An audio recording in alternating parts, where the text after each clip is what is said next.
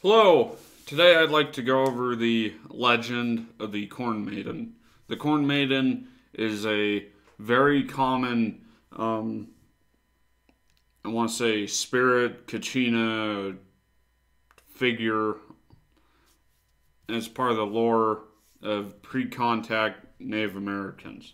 It, if you look on a map of the distribution of Corn Maiden myths, it is stretches coast to coast because corn was such a major staple of their diet. So I think this started early on and just spread throughout most of the Americas as a common uh, story, lore, goddess, whatever it was. Um, of course, this doesn't come to us untainted because it's been filtered through the lens of missionaries and yada yada yada that wrote it down. So I apologize for that, but I'm working with the best I have. I try to use Native American sources to the best of my ability. Uh, the Corn Maiden, uh, I'm just going to go culture by culture. In the Pueblo Indian culture, corn is to the people the very symbol of life. The Corn Maiden, grandmother of the sun, and the light brought this gift. The Corn Maiden brings the power of life to the people. As the corn is given life by the sun, the Corn Maiden brings the fire of the sun into the human bodies, making them as the Creator designed them to be. The Great Spirit has given many representations of his love and power through nature. The corn maidens are said to have been created by the Great Spirit in the palm of his right hand. Each maiden brings one seed of corn that is nurtured with love like that given to a child. That this one seed would sustain the entire tribe forever. With love and strength from the tribe, the tiny seeds mature and grow tall and provide crops for the people. The spirit of the corn maidens is forever present with the tribal people. How corn came to the earth. A long time ago, giants lived on the earth, and they were so strong that they were not afraid of anything. When they stopped giving smoke to the gods of the four directions, Nasaru looked down upon them and was angry. I made the giants too strong, he said. I will not keep them. They think that they are like me. I shall destroy them by covering the earth with water, but I will save the ordinary people. Which I didn't even do this on purpose, but once again, this proves I want to talk about this in a different video, but flood mythology, lore, stories is here even on pre contact North America. I mean, to me, that's amazing. I, I love flood mythology. I uh, I commission art four different pieces on that, and I would love to. I want to do that video. Nasaru sent the animals to lead the ordinary people into a cave so large that all the animals and people could live there together. Then he sealed up the cave and flooded the, the earth so that all the giants drowned and to remind himself that people were under the ground waiting to be released after the flood waters receded. Nasaru planted corn in the sky. As soon as the corn ripened, he took an ear from the field and turned it into a woman. She was the mother corn. You must go down to earth and bring my people out from under the ground. Lead them to the place where the sun sets, for their home shall be in the west. She went down to the earth and when she heard thunder in the east, she followed the sound into the cave where the people were waiting. But the entrance closed behind her, and she could find no way to lead the people out upon the earth. We must leave this place, this darkness. There is light above the ground. Who will help me take my people out of the earth? The badger came forward and said, Mother Corn, I will help. The mole also stood up and said, I will also help the badger dig through the ground, that we may see the light. Then the long nosed mouse came and said, I will help the other two. The badger began to dig upwards. After a while, he fell back exhausted. Mother Corn, I am very tired. Then the mole dug up until he could dig no more, and the long nosed mouse took the mole's place, and when he became tired, the badger began to dig again. The three took turns until at last the long nosed mouse thrust his nose from the ground and could see a little light. The mouse went back and said, Mother Corn, I ran my nose through the earth until I saw light, but the digging has made my nose small and pointed. After this, all the people will know by my nose that was I who dug through the earth first. The mole went up to the hole and dug all the way through. The sun had come up from the east, and it was so bright it blinded the mole. He ran back and said, Mother Corn, I have been blinded by the brightness of the sun. I cannot live upon the earth any more.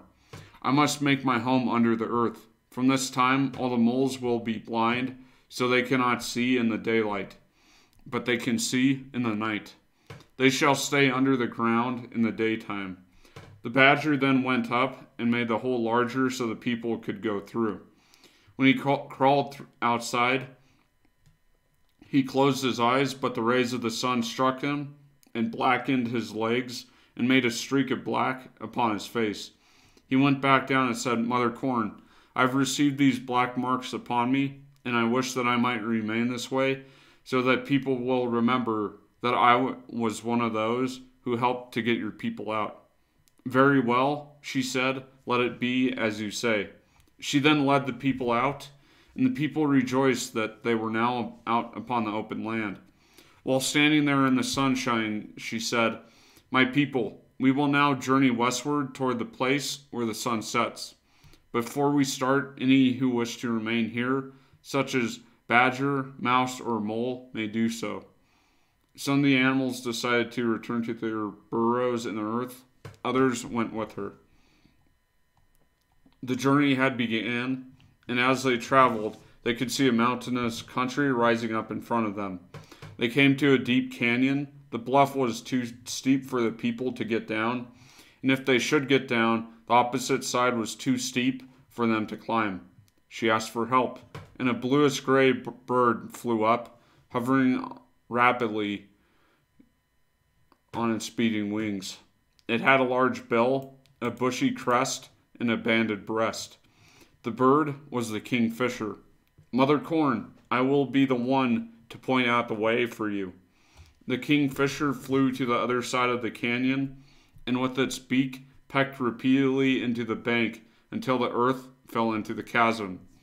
Then the bird flew back and pecked at the other bank until enough earth fell down to form a bridge. The people cried out their thanks. Those who wish to join me may remain here and we will make our homes in these cliffs. Some stayed, but most journeyed on. After a while, they came to another obstacle a dark forest. The trees were so tall that they seemed to reach the sun. They grew close together and were covered with thorns, so that Owl came and stood before her and said, I will make a pathway for your people through this forest. Any who wish to remain with me may do so, and we shall live in this forest forever. The owl then flew up through the timber. As it waved its wings, it moved the trees to one side so that it left a pathway for the people to go through. Mother Corn then led the people through the forest and they passed onwards. As they journeyed through the country, all at once they came to a big lake. The water was too deep and too wide to cross, and the people talked of turning back. But they could not do this, for Nasaru had ordered Mother Corn to lead them away toward the, the west. A water bird with a black head and checkered back came and stood in front of Mother Corn and said, I am the loon. I will make a pathway through this water. Let, let the people stop crying, for I shall help them. She went on and said, Make a pathway for us and some of the people will remain with you here. He then flew and jumped into the lake, moving so swiftly that it parted the waters, and it and when it came out on the other side of the lake, it left a pathway. She led the people across to dry land, and some turned back and became loons. The others journeyed on. At last they came to a level place besides the river, and Mother Corn told them to build a village there. Now you shall have my corn to plant, so that you, by eating of it, will grow and multiply. After that, they built a village and planted the corn, and then she returned to the upper world.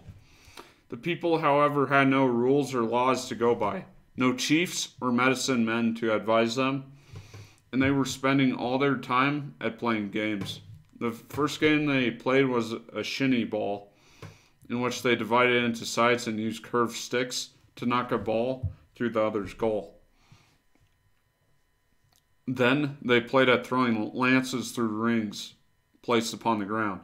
As time went on, the players who lost games grew so angry that they began killing those who had beaten them. Nasaru was displeased by, by this behavior, and he and Mother, came, Mother Corn came down to earth. He told them that they must have a chief and some medicine men to show them how to live. While Nasaru taught the people how to choose a chief through tests of bravery and wisdom, Mother Corn taught them songs and ceremonies, and after they had chosen a chief, Nasaru gave the man his own name. And then he taught the medicine men the secrets of magic. He showed them how to make pipes for offering smoke to the gods of the four directions. When all this was done, he went away towards the setting sun to prepare a place for new villages. Mother Corn led the people in his tracks across plains and streams to this country where Nasaru had planted roots and herbs for the medicine men. There they built vi- villages along a river that the white man later called the Republican River in Kansas. On the first day that they came to this country, Mother Corn told them to offer smoke to the gods in the heavens and to all animal gods. While they were doing this, a dog came running into the camp crying, and he accused her of doing wrong by going away and leaving him behind. I came from the sun, and the sun god is so angry because I was left behind that he is sending the whirlwind to scatter the people. Only by giving up my freedom can I do this. No longer can I hunt alone like my brother the wolf, or roam free like the coyote. I shall always be dependent upon the people. But when the whirlwind came spinning and roaring across the land, the dog stood between it and the people. I shall always remain with the people. I shall be a guardian for all their belongings. After the wind died away, Mother Corn said, The gods are jealous. If you forget to give smoke to them, they will grow angry and send storms. In the rich earth besides the river, the people planted her corn. And then she said, I shall turn you into a cedar tr- I shall turn into a cedar tree to remind you that I am Mother Corn who gave you your life. It was I, Mother Corn, who brought you from the east. I must become a cedar tree to be with you. On the right side of the tree will be placed a stone to remind you of Nasaru, who brought order and wisdom to the people. Next morning, a cedar tree, full grown, stood in front of the lodges of the people. Besides it was a large stone, and the people knew that Mother Corn and Nasaru would watch over them through all time and would keep them together and give them long life. The coming of corn. This was related, told by the Sauk leader named Black Hawk in his 1833 biography. I will relate the manner in which Fort corn first came. According to tradition handed down by my people, a beautiful woman was seen to descend from the cloud and alight upon the earth. By two of our ancestors who had killed a deer and were sitting by a fire, roasting a part of it to eat. They were astonished at seeing her and concluded that she was hungry and had smelt the meat. They immediately went to her, taking with them a piece of the roasted venison. They presented it to her. She ate it, telling them to return to the spot where she was sitting at the end of one year, and they would find a reward for their kindness and generosity. She then ascended to the clouds and heard, but were laughed at by her pe- their people. When the period had arrived for them to visit this consecrated ground, where they were to find a reward for their attention to the beautiful woman of the clouds, they went with a large party and found where her right hand had rested on the ground, corn began growing, and where the left hand had rested, beans, and immediately where she had been seated, tobacco.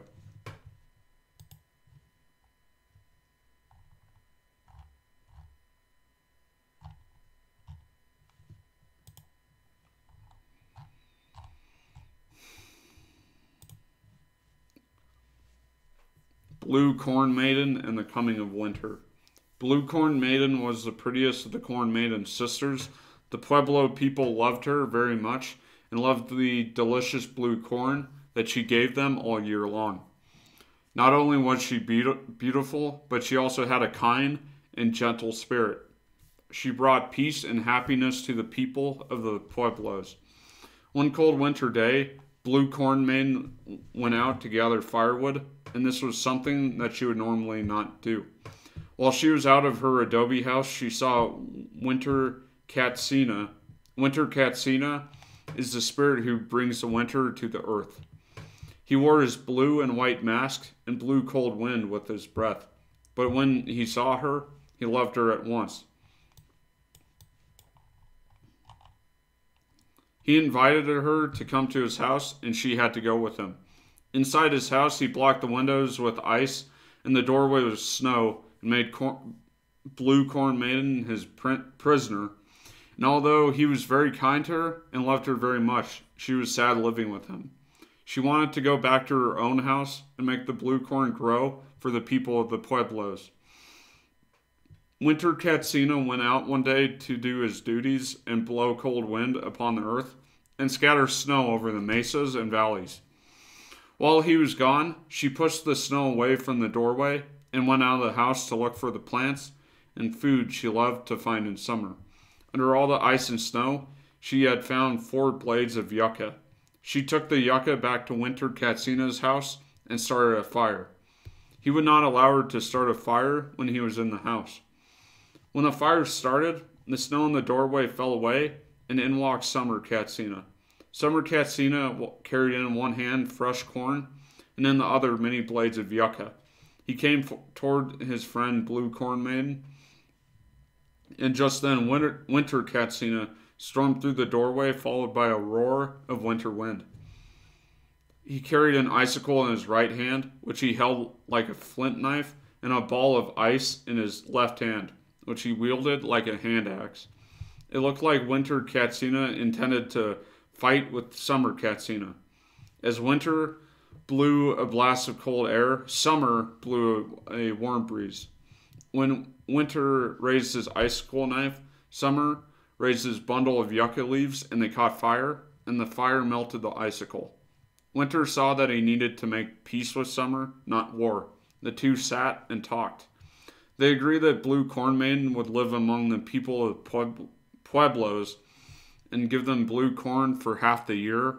In the time of summer, the other half of the year, blue corn Maiden would live with winter, and the people would have no corn. Blue corn Maiden went away with summer, and he was kind to her. She became the sign of springtime, eagerly awaited by the people. Sometimes, when spring had come already, winter will blow cold wind suddenly or scatter snow when it is not the snow time. He does this just to show how displeased he is to have to give up Blue Corn Maiden for half the year.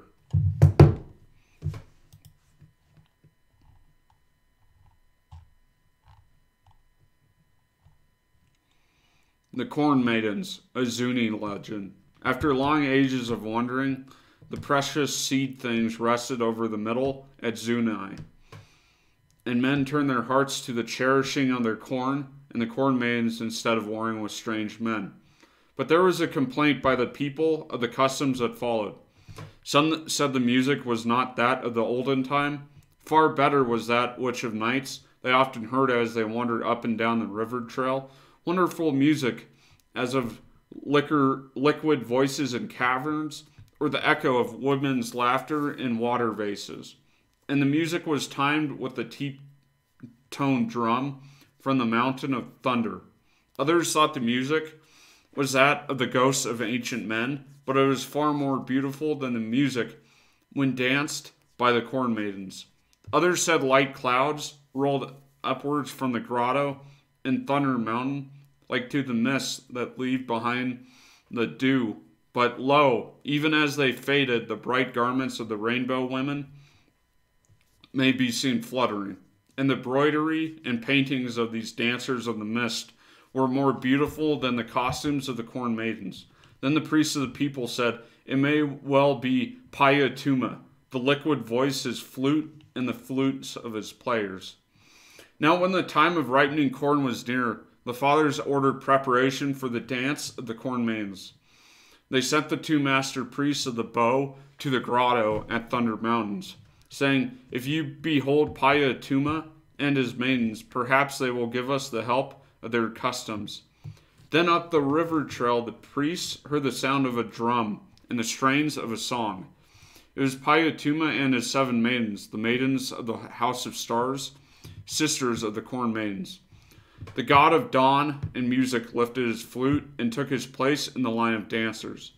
The drum sounded until the cavern shook as with thunder. The flute sang and sighed as the wind in a wooden cannon, while still the storm is distant. White mist floated up from the wands of the maidens, upon which fluttered the butterflies of Summerland about the dress of the rainbows in the strange blue light of the night. Then Payatuma, smiling, said, Go the way before, telling the fathers of our custom, and straightway we will follow. Soon the sound of music was heard coming up from the river, and soon the flute people and singers and maidens of the flute dance. Uprose the fathers and the, all the watching people, greeting the god of dawn with outstretched hand and offering a prayer meal. Then the singers took their places and sounded their drums, flutes, and songs of clear waters, while the maidens of the dew danced their flute danced.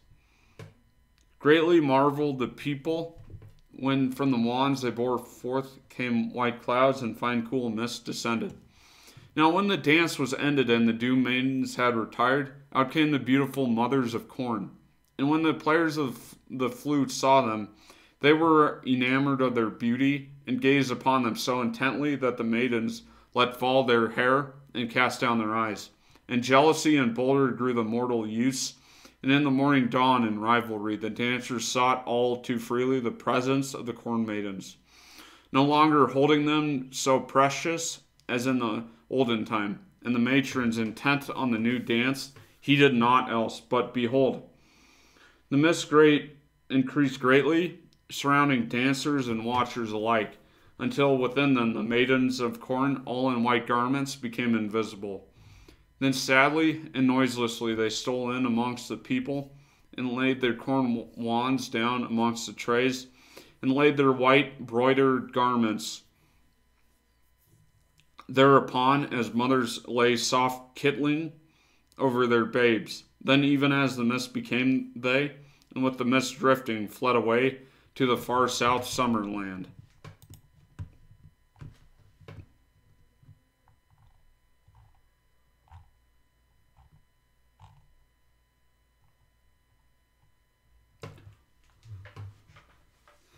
Why does it keep doing that?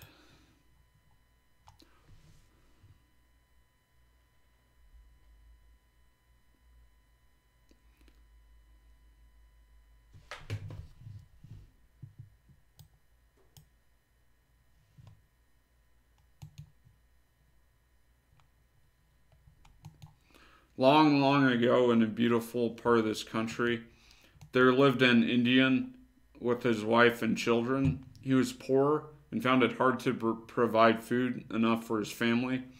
But though needy, he was kind and contented, and always gave thanks to the Great Spirit for everything that he received.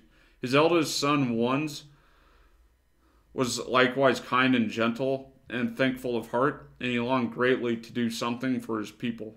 The time came that he reached the age that every boy fasts so that he may see in a vision the Spirit that is to be his guide through life.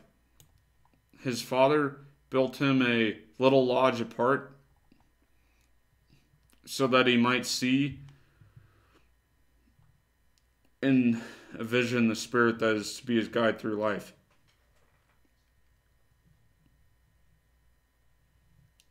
He built a lodge so that the boy might rest there undisturbed during his days of fasting. Then he withdrew to begin the solemn rite. On the first day, he walked alone in the woods, looking at the flowers and plants, and filling his mind with the beautiful images of growing things, so that he might see them in his night dreams.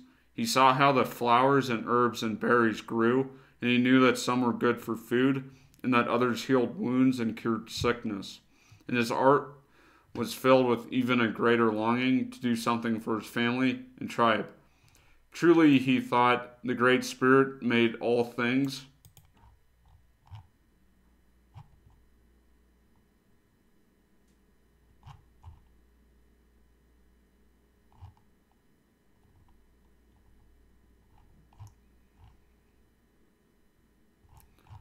Then the whole family feasted on the ears of corn and thanked the Great Spirit who gave it.